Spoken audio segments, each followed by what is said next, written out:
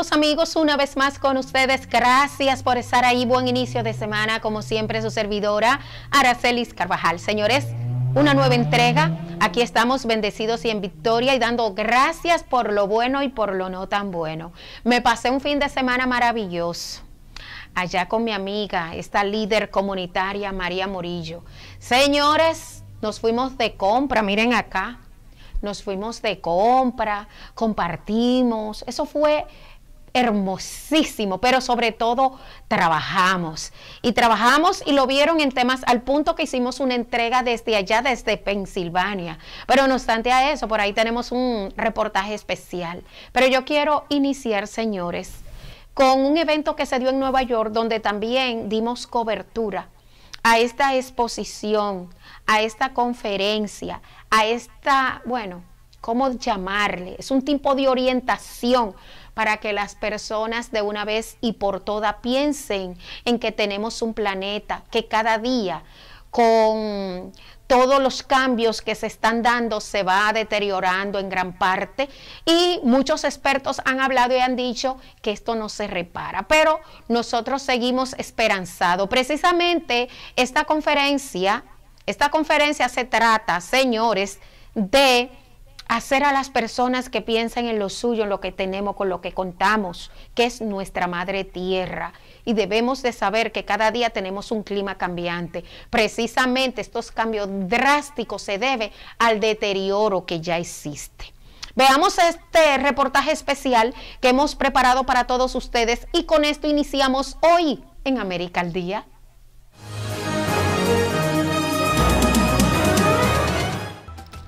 Para expertos, es evidente que cada día el mundo enfrenta el riesgo ambiental. Sin embargo, también es evidente su lucha para evitar un calentamiento catastrófico en el planeta. Max Puy, vicepresidente ejecutivo del Consejo Nacional para el Cambio Climático y Mecanismo de Desarrollo Limpio en la República Dominicana, dictó una magistral conferencia a propósito del tema, titulada Clima en crisis, los desafíos del cambio climático en el país caribeño. Eh, los huracanes, las tormentas, las sequías, eh, el, régimen de lluvia eh, que varía, el aumento de las temperaturas, todo eso modifica los ciclos productivos. Y todo eso modifica los ciclos productivos, pero también destruye producción. Una exposición sin desperdicios para muchos auspiciada por el Instituto del Dominicano en el Exterior, INDEX, y organizada por el líder político Aris Guevara. La exposición de Frida Kahlo en el mes de la mujer. El Instituto Dominicano y Dominicana en el Exterior vincular a la, a la, comunidad dominicana aquí en Nueva York y no solamente vincularla, sino educarla de todo lo que está pasando en el mundo con lo que es el cambio climático. Los presentes valoran la iniciativa y según dicen, es hora de crear conciencia sobre cómo proteger nuestro planeta, por lo que agradecen esta iniciativa que según Puig, el objetivo es articular y aunar esfuerzos desde las diferentes instituciones que integran los sectores de desarrollo del país para combatir el problema global del cambio climático. Destruye producción, baja la producción, baja la productividad entonces eso afecta eh, a comunidades enteras. Pero en el caso de la República Dominicana, yo decía hace un momento que el turismo es la columna vertebral de nuestra economía. Pero estos fenómenos atmosféricos extremos también pueden golpear muy duramente esa columna eh, vertebral. Por lo que yo decía de las playas, por lo que yo decía eh, de todos los centros turísticos. Además, porque al estar en las playas los fenómenos, fenómenos atmosféricos extremos pueden afectar muchísimo. El cambio climático afecta a toda nuestra vida, afecta a todas las generaciones, afecta al mundo, afecta al planeta. El INDEX siempre está comprometido con transmitir y con comunicar y con mejorar la vida de los dominicanos en el exterior. Que el mundo está cambiando, que tenemos una casa y esta casa es el planeta Tierra, nuestro mundo, que tenemos que cuidarlo, entonces tenemos que comenzar a participar y atraer gente para que todos participemos y desarrollemos ese interés porque las cosas cambian. un evento realizado en la Dirección de Cultura Dominicana en la Gran Manzana. Y estos quisqueyanos invitan a reflexionar y educarse cada día más. Y piden que esta no sea la última vez que se traiga a Nueva York al doctor Puis a juicio de todos. Es el profesional dominicano más capacitado cuando de medio ambiente se trata. Aracelis Carvajal les informó.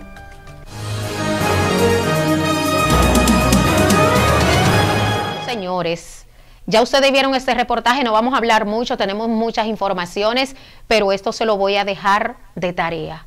Piensen lo que tenemos. Vamos a proteger nuestra madre tierra, nuestro clima, nuestro ambiente. Nos vamos a una pausa y cuando retornemos, más en América al Día.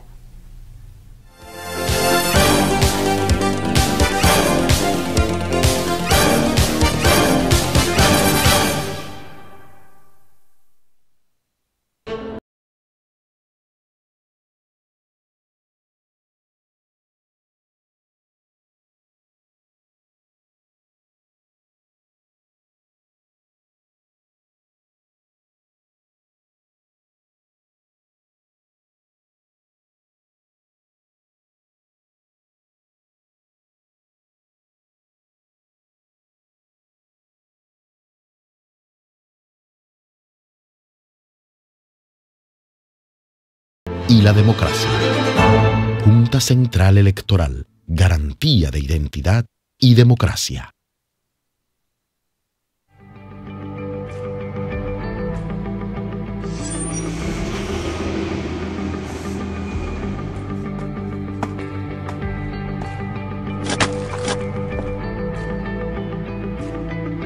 Nuestros embutidos saben a compartir a buenos recuerdos. Cibao Meat sabe a nosotros. El Caucus Nacional de Mujeres Dominicanas les invita a su segunda cumbre de líderes latinas en la ciudad de Nueva York 2024, en conmemoración del mes de la historia de la mujer. Acompáñenos el viernes 22 de marzo a partir de las 6 de la tarde y el sábado 23 a partir de las 2 de la tarde venga al Gerald W. Lynch Theater en John Jay College, en el 524 West de la calle 59, entre las décima y onceava avenidas. Aprenda con los paneles de educación, vivienda, salud biológica y salud mental, además de que tendremos invitadas especiales, reconocimientos y muchas sorpresas más. Regístrese ya mismo. Visite www.ndwcaucus.org o escanee el código QR que está en pantalla. No se lo pierda.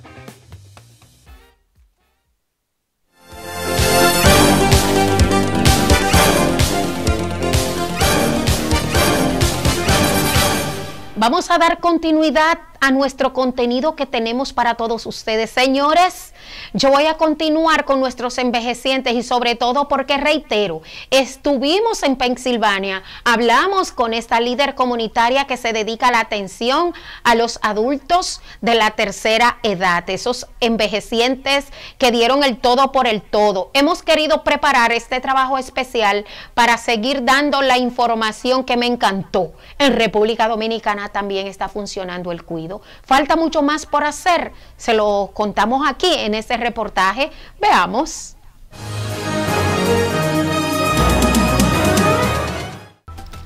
Dominicanos en el exterior valoran la gran oportunidad que les brinda la Agencia de Cuidados a Personas de la Tercera Edad, Coravia Home Health Care a sus familiares. Nosotros tenemos servicio de home care, cuidado en el hogar, también tenemos transporte para los pacientes, enfermeras que van a la casa, terapista físico, terapista ocupacional, más trabajadores sociales. La realidad es que funciona aquí y allá. Queremos tener el servicio completo para todas nuestras personas que necesiten los servicios de Corabia Home Care. La gran diferencia es que el gobierno en los Estados Unidos cubre los costos a sus envejecientes a través de esta agencia. Y en la República Dominicana lo hacen ellos mismos o sus propios familiares, la mayoría residentes en los Estados Unidos. Bueno, la República Dominicana es otro nivel, es a nivel privado. ¿Por qué? Porque el Estado no paga esos servicios, no hay un seguro que cubra esos servicios al envejeciente. Y, y tratamos de darle todo tipo de servicios. Esta profesional, líder comunitaria y social, María Morillo, dice que además de contar con un personal capacitado, que no solo los cuida, sino que los alimenta, los acompaña donde quiera que quieran ir. Y mejor aún, también cuenta con médicos de las diferentes especialidades que van hasta su propia casa a dar asistencia y de ser necesario. Y, y, tratamos de darle todo tipo de servicio, desde un ginecólogo que vaya a la casa, porque señores, los pacientes adultos mayores no les gusta ir un ginecólogo, ya le da vergüenza que un ginecólogo lo vea, dentista, eh, eh, odontólogo, eh, geriatra, diabéticos, todo tipo de servicio que el paciente necesita en el hogar, nosotros lo proporcionamos, aparte de una cuidadora básica, como de una enfermera. Cabe reiterar que hay una gran diferencia entre los Estados Unidos y la República Dominicana. Y es que el gobierno en USA cumple con la parte económica para atender a sus envejecientes. Y María y todo su equipo esperan que igual funcione en la República Dominicana, que no sea de forma privada, sino también con aseguradoras y el gobierno central. Hay que decir que nuestros envejecientes merecen las mejores atenciones una vida saludable y en su propio hogar. Asistir en el baño, asistirlo con sus medicamentos. A veces el adulto no puede abrir el pote de la, medicina, no se acuerda la hora. Esas son las, funciones de la cuidadora. Asistirlo desde su baño, desde y acompañarlo al médico, acompañarlo a la casa, preparar sus alimentos, que asegurarse que el paciente se bañe bien, coma, comparta con sus amistades, que hay personas adultos mayores que tienen cinco años que no ven una amiga. Eh, también podemos llevarla a la iglesia, la llevamos al parque, caminamos 15 minutos por la mañana, que no esté solamente en la habitación, porque son adultos mayores. No, prestémosle eh, atención, démosle la importancia que vamos a dar una vida digna ya en sus últimos años. Y todo esto lo pueden encontrar en la agencia Coravia, reiteramos, ubicada en Pensilvania, Estados Unidos y en la República Dominicana a nivel nacional. Aracelis Carvajal les informó.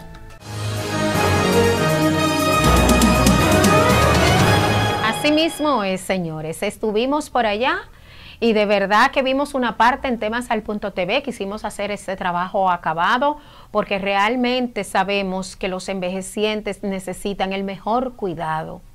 De verdad que sí. No me gusta decir esto, pero todos quisiéramos que nuestros días nuestros meses, años, los últimos ya de existencia en esta tierra y luego de agotar un trabajo eficiente y fajado, pues merecemos que se nos atienda bien. Y de verdad que cuando Dios decida, pues nos vamos con gusto, pero con una vida digna, haber vivido tranquilo y ver que de alguna manera recibimos alguna compensación. Bueno, señores, vamos a dejar el tema, vamos a dejar a nuestros envejecientes. Claro, claro que sí, vamos a seguir con esto porque esto es grandioso. De verdad que sí, debemos de luchar para que estas personas estén en salud cómodo y bendecidos como siempre. Bueno, Vamos a pasar, señores, por ahí yo tengo a Junior Betances. Vamos a pasar con Junior porque tenemos las informaciones, las noticias comentadas. Junior, saludos. Gracias a nuestra amiga Araceli Carvajal y a todos ustedes que se mantienen en sintonía con nosotros a esta hora en este su noticiario América al Día por TV Quisqueya. Araceli, no sé si tú te recuerdas de una canción que dice no suelte el gallo, no, lo, suelte, que te, lo, matan, ay, que te lo matan. Decir, de una sátira que se hizo muy popular en la, en la época de Balaguer, donde estaban las contradicciones, PRM, perdón, PRD, el Partido Reformista, el PLD también, y se hizo muy famoso ese tema, que era dedicado específicamente a Balaguer, que tenía su gallo colorado. No suelte el gallo, no lo suelte, que te lo matan. Que te lo matan. Señores, hay una gran preocupación, de las tantas preocupación que tiene uno, producto de cómo va el mundo, las contradicciones, lucha de intereses del poder político. Y es con relación a la República Dominicana. Sale una estadística que a mí me sorprende, pero no me, no me llena de mucho asombro, porque eso ya yo lo sabía, de que la República Dominicana se ha convertido de un mercado de consumo de droga. Antes era un puente, ahora se ha convertido en un mercado de consumo. Son muchos los puntos de drogas y la venta de este de, esta, de este material eh, inconstitucional eh, que hay en la República Dominicana. Digo inconstitucional porque eso va fuera de la ley. Eh. Usted no puede consumir droga, usted no puede vender droga, pero sin embargo ha aumentado los niveles de puntos de drogas y los niveles de consumo. Antes era un puente y ahora nos hemos convertido, señores, en un mercado de consumo. Las autoridades tienen que ponerle costo a todo esto. Hay que tratar de llevar un programa de concientización, atacar a los comercializadores, pero también a los consumidores. Un ataque sistemático a nivel de lo que es el elemento de la ley, pero también un ataque de concientización. Hay que hacerlo, porque me sorprendo y es una realidad. Muchos consumidores de droga en la República Dominicana y las autoridades que, bien, gracias. Estas son cosas que se tapan, pero con estas estadísticas que salen, es sorprendente. Ojalá que los gobiernos pongan caso a este tipo de acción y que podamos detener todo esto ahí, podamos controlarlo y bajar los niveles de consumo. Porque una sociedad como la nuestra, que tiene una juventud eh, muy buena, muy preparada, que va avanzando, que caigan en las garras de las drogas. Esto es muy delicado. Así que hay que ponerle ojo a todo esto a las autoridades, porque no podemos seguir en esto. Señor, una tragedia lamentable en Salcedo, en Tenares Salcedo donde producto de la utilización de unos, juegos, de unos fuegos artificiales en un carnaval, varias personas heridas con quemaduras graves y muchas de ellas han muerto. Es lamentable la situación. Esto de los fuegos artificiales siempre ha sido un tema muy contradictorio. Cuando viene la, eh, cuando viene la celebración de año, cuando vienen los carnavales, se utilizan estos fuegos artificiales y provocan ciertos tipos de daño. No es la primera tragedia que sucede. Han sucedido muchas tragedias y muchas veces esto se sale de control de las autoridades, pero hay que tratar de bajar los niveles de uso de los fuegos artificiales en los carnavales, concientizar a la gente, porque hay que decir que hay una industria que se dedica a este tipo, a este tipo de productos eh, para su consumo. Entonces hay que tener mucho cuidado con relación a esto. Y también se pone de manifiesto de que lamentablemente en el país no tenemos la capacidad para darle respuesta a este tipo de acción. Eh, los departamentos de quemaduras de los hospitales a nivel nacional son pocos. Y yo entiendo de que hay que tratar de avanzar en este sentido. Hubo que trasladar a esa persona a Santiago, de Santiago a la capital, porque ni, ni, ni, Salcedo ni Santiago, solamente en la capital, tenían los niveles para poder atender al nivel que se merecían esas personas. Eso es peligroso. Hay que desarrollar el país para darle respuesta a un conjunto de acciones de este tipo. De Cosas prioritarias. con eso, las autoridades que están y posiblemente las autoridades que vengan, simplemente. Y por otro lado hay que decir de que se sigue el rumor sobre el padrón electoral, de que posiblemente se produzca un dislocamiento aquí en el padrón electoral. Yo sigo pensando que no, yo sigo pensando que el presidente de la Junta Central Electoral es un hombre serio, la OCLIS que se, eh, que se manejan a nivel del exterior son personas serias y no podemos permitir este tipo de acción. Ojalá que se le ponga costo a todo esto rápido, se corrija y que todos los dominicanos de la diáspora con tiempo tengan su carta de ubicación de su recinto electoral donde van a votar. Román Jaque, usted es un hombre serio y yo confío en usted. Esperemos que las cosas que se están rumorando no se den aquí en el, en el escenario del exterior, que todos los dominicanos queremos votar dentro de las reglas. Por otro lado, señores, se habla sobre el debate electoral, muy bueno, hemos venido hablando sobre esto, se está haciendo un debate electoral, como comentamos en el, en el en, mi intervención anterior y ahora posiblemente se haga un debate electoral con los presidentes, muy bueno, se está avanzando, pero ojalá que se ponga de manera constitucional de que sí, de que se haga un debate electoral por ley, por ley constitucional, que se ponga en la 3318 y en la 1519, la ley electoral y la ley de partido, que hay que hacer un debate bien organizado para las elecciones del año 2028. Qué bueno, estamos avanzando. Por otro lado, siguen las encuestas. Eh, el, presidente, el presidente Abinader arriba, Leonel Fernando en segundo lugar, Abel Martínez en tercer lugar, pero la mayor encuesta va a ser precisamente el 19 de mayo de este año 2024, donde se serán las elecciones, y vamos a ver qué pasa. Si Abinader se va a quedar, si viene Leonel Fernández, si viene Abel Martínez con el PLD, Señores, nos despedimos con esta canción que dice No suelte el gallo, no lo suelte, ay, que te lo matan, ay, que te lo matan. Eso le dice Leonel Fernández a Luis Abinader, Luis Abinader se lo dice a Leonel Fernández, a ver se lo dice a los dos. No suelte el gallo, no lo suelte, que te lo mata, ay, que te lo mata. Nos despedimos. Dejamos buena compañía con nuestra amiga Araceli Carvajal. Dale, belleza.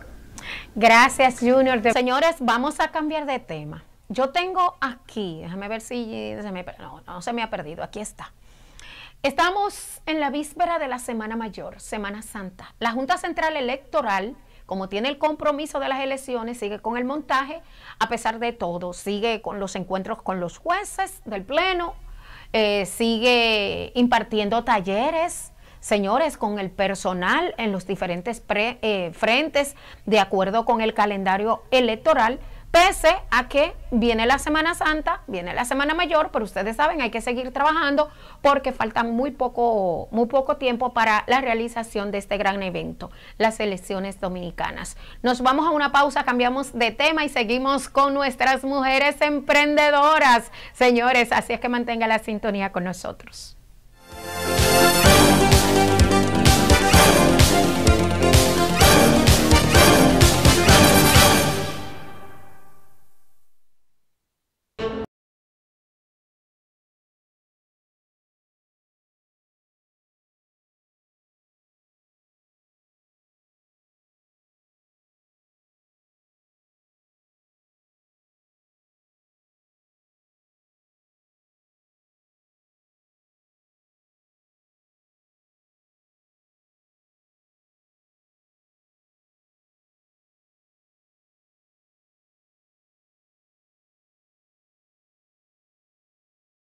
Democracia.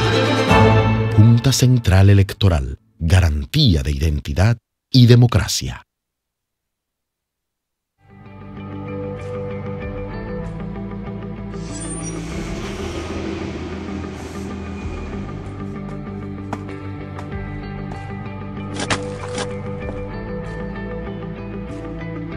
Nuestros embutidos saben a compartir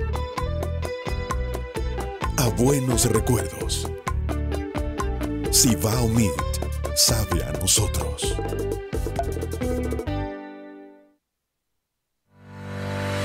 Con la Colina Chipping, tu envío es más. Informes a los teléfonos 718-701-4347-5612. Tu envío es más seguro con la Colina Chipping.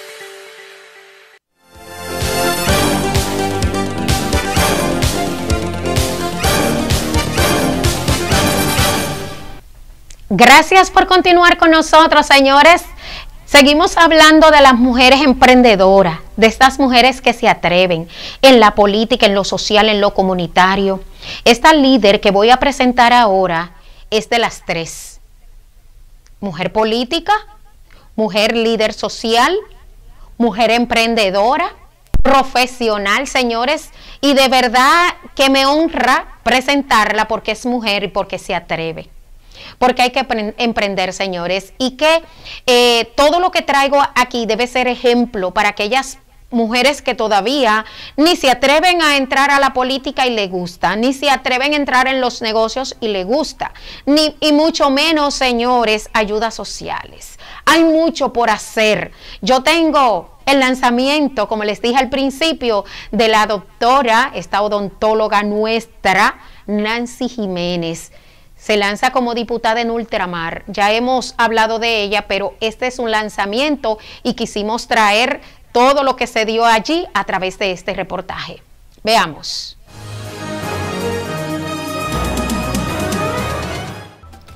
En Nueva York se deja sentir el poder de convocatoria de la líder social y comunitaria, una mujer emprendedora, la doctora Nancy Jiménez toda la propuesta que tenemos nosotros para la diáspora dominicana son importantes, pero la más importante es que vamos a estar palmo a palmo, mano a mano, con todos los problemas que puedan tener.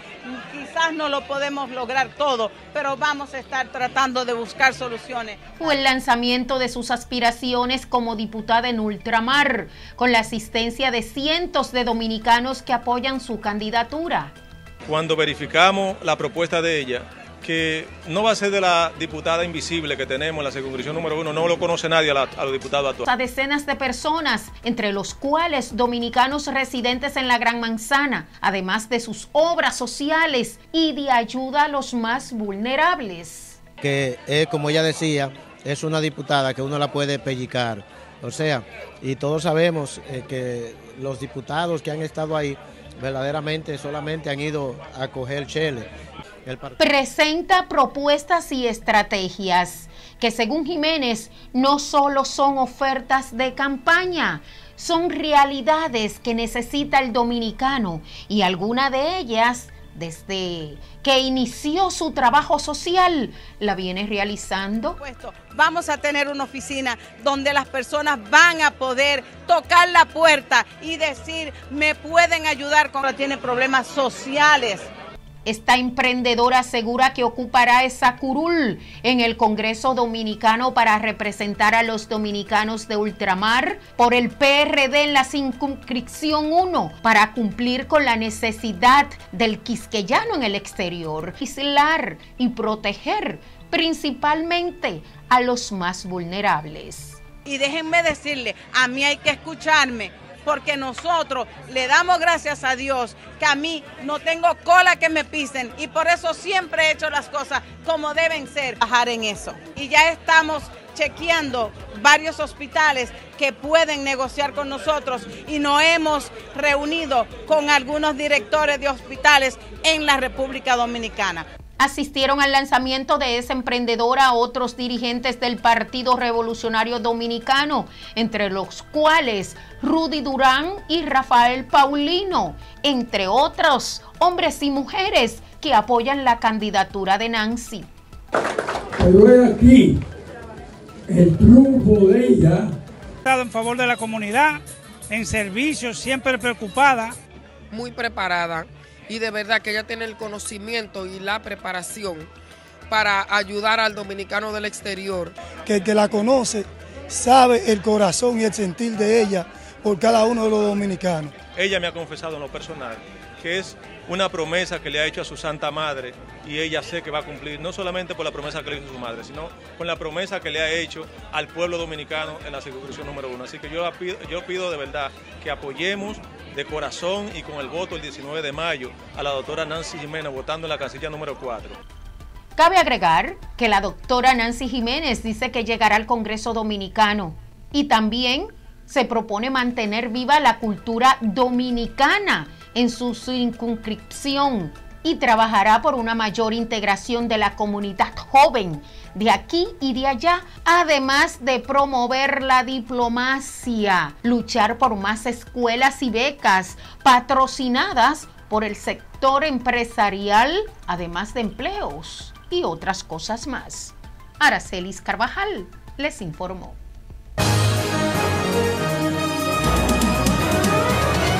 Bueno, señores, la realidad es que este programa vino eh, cargado de, de, todos esos eventos de fines de semana, casi siempre los lunes, señores, tenemos muchos eventos, por eso andamos así corriendo para que nos dé tiempo de pasarlos, aunque siempre algo se nos queda y muchos se ponen guapitos. Pero señores, mañana vamos a seguir y vamos a seguir con los emprendedores dominicanos en cualquier punto de los Estados Unidos, incluido ahí también en nuestra Quisqueya la Bella, en Canadá, en Puerto Rico, en las islas del Caribe. Hasta allá nos vamos a trasladar si es necesario y vamos a hablar con ellos, porque es la hora de que usted conozca sus líderes y lo que hacen. Su servidor Aracelis Carvajal, recuerden que mañana mañana vamos a estar aquí a la misma hora y por este mismo canal.